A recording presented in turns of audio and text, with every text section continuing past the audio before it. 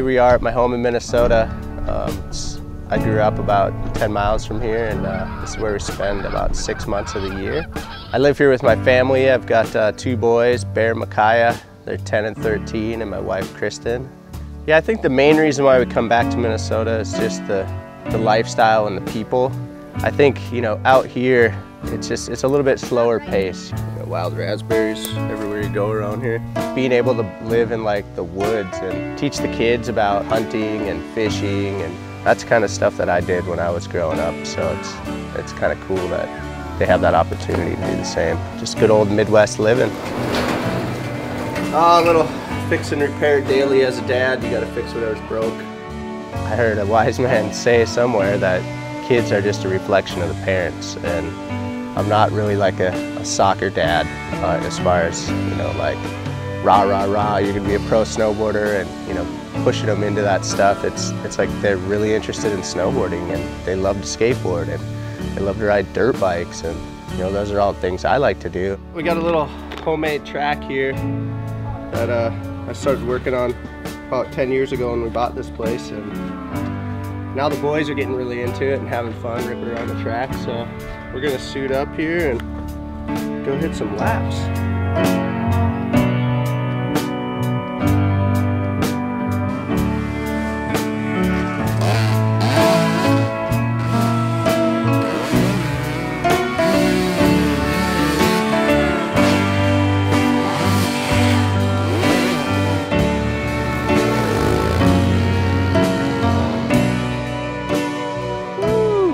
Just kind of built our lifestyle around the back and forth.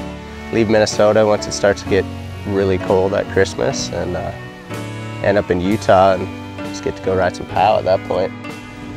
Just uh, up bright and early, heading to Snowbird. We get on some early trails. Early ups, courtesy of Snowbird. Enter at your own risk. Give a little bit of heart, give a little bit of soul for the best things on this material days.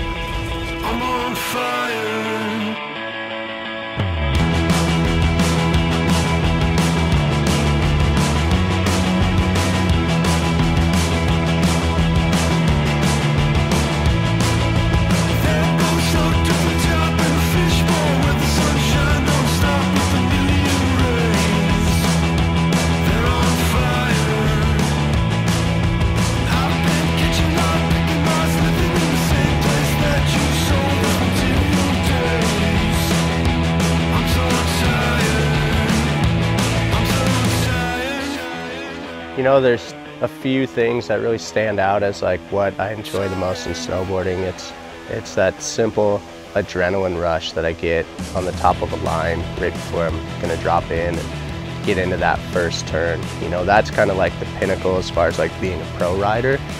And the other thing that outweighs all that is when I see my kids having that same moment when I'm following them and like they're just so excited they you know landed their first 360 or you know threw up a slash and ate powder and got to skip school on a pow day. I mean, those little moments really add up and get me through summer.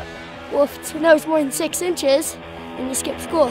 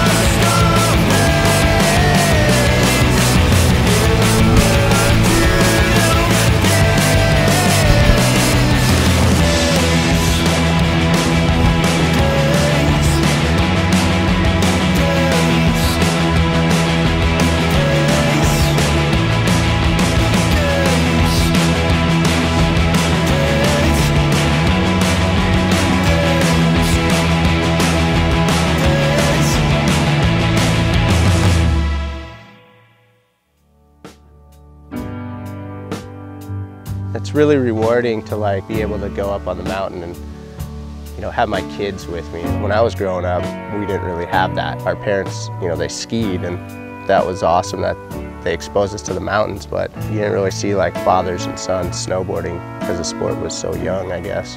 I think snowboarding has a lot to offer to young people growing up. It's a, it's an outlet of expression. It's a means of freedom in a lot of ways. You know, I think that's really cool. I think people need something stabilizing in your life, and for me, that's it's just uh, it's my outlet to, you know, have basically freedom to, to feel like I'm not tied down to all the all the headaches and the things that you think about laying in bed. You know, it's all that starts flooding my mind, and I try to think about jumping off a cliff or doing a backside 180 or something, and it all goes away.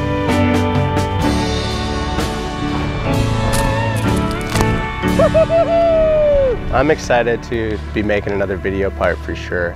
I still have tricks in my mind that I haven't put down in a video part that need to go down.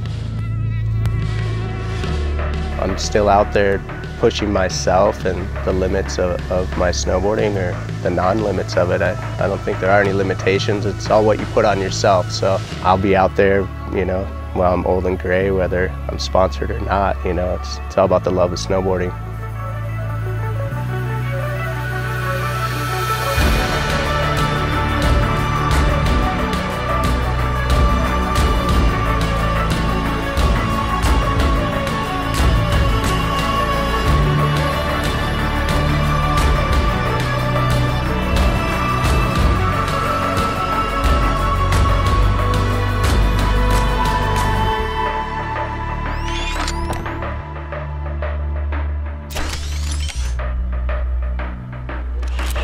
Ha!